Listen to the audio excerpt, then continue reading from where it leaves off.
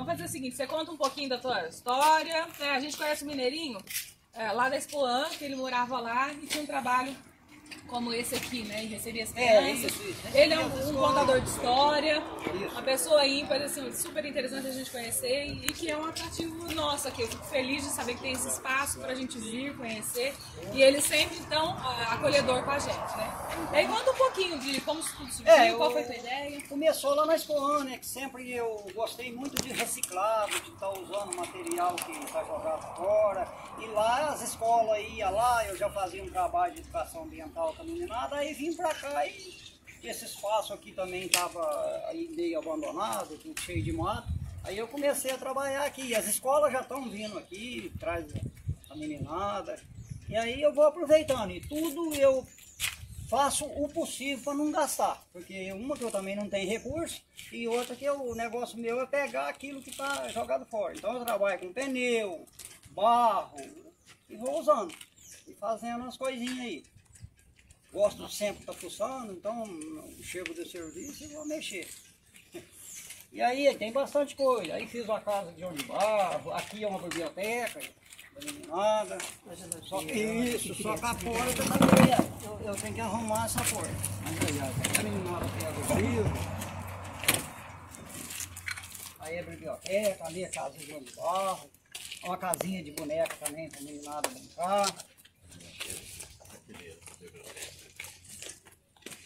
Aí eu comecei aqui com o forno. Esse forno era muito legal lá na Expoan, eu tinha ele, aí falei, ah, o forno, fiz o forno, foi devagarzinho. Agora, você chama Mineirinho porque você é mineirinho, mas você conta um pouco a tua história. Você não é mocoquense. Não, não, não, não, eu sou mineiro mesmo, eu sou, é, eu sou mineiro de uma cidadezinha chamada Cana Verde. Lá no sul de Minas, ali, na região de Lavras, Varginha. Então aí eu vim pra cá, mas sou mineiro mesmo. Eu sou contador de casos, contador de história. O meu bisavô era contador de história, o pai era um grande contador de história, aí acabou sobrando pra mim. Então vou nas escolas também, faço um trabalho com contação de história nas escolas. Estão rodando por aí. Mineirinho não para não. E aí, assim, o que eu acho legal é, por exemplo, a casa de João de Barro, né? Em escala humana, pra gente entrar e ter uma experiência como se fosse um João de Barro. João de Barro, mesmo jeitinho. Ela Mesmo é, jeitinho. ela é o formato da casa do João de Barro. Você entra, faz a curvinha, lá tem o lugarzinho do João de Barro fazer o ninho e sai pra fora. Olha lá, e tem em cima a do João de Barro mesmo. Aquela que tá lá em cima da casinha de João de Barro. Aquela Ah, foi o João tá. de Barro que fez. Aí eu fiz um xerox, uma cópia mais ou menos. Mas não perfeito igual a do João de Barro, né? Ele trabalha muito bem.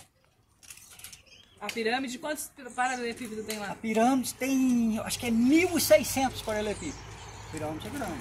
Havia uma casinha de barro ali. Aquela casinha dá para a pessoa morar nela. Ela é, quer ver, ela é quase, quase ela é 3,5 por 3,5. E eu gastei ali naquela casinha, em dinheiro, 7 reais. Só um pacote de prego que eu comprei. O resto tudo catava aí. Essa aí é no estilo pau a pique, né? É,